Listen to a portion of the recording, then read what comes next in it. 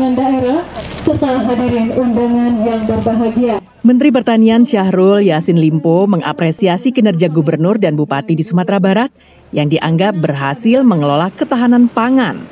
Hal ini sesuai dengan harapan Presiden Joko Widodo yang meminta semua kepala daerah di Indonesia menyiapkan lumbung-lumbung pangan menghadapi kondisi sulit seperti cuaca ekstrim lanina yang mengancam sebagian wilayah Indonesia saat ini. Hal itu diungkapkan Mentan usai panen padi di Kecamatan 2 kali 11 6 Lingkung, Kabupaten Padang Pariaman pada Selasa sore.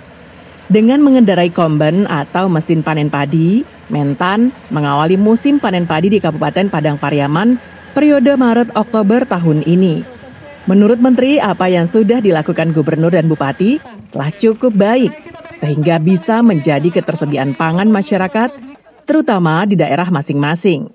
Mentan menambahkan, semua daerah mesti memiliki pemetaan wilayah yang memiliki tingkat kerawanan terhadap bencana.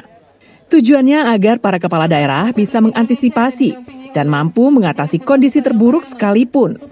Selain itu, pemerintah juga akan terus memperbaiki irigasi menyiapkan pompa-pompa air, menyiapkan bibit-bibit yang tahan air, hingga menyiapkan asuransi bagi petani.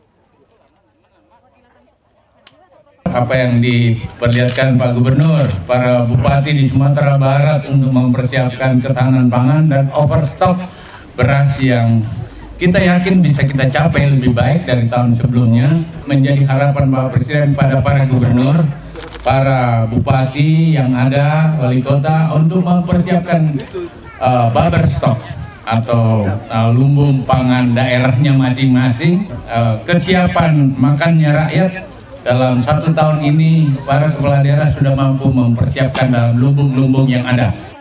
Selain panen padi, Menteri ke Sumatera Barat juga membawa bantuan bagi kelompok tani.